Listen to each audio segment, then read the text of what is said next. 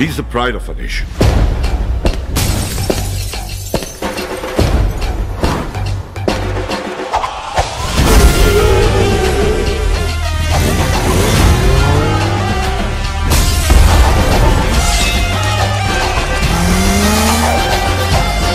செஞ்சிடலாமா செஞ்சுட்டா போச்சு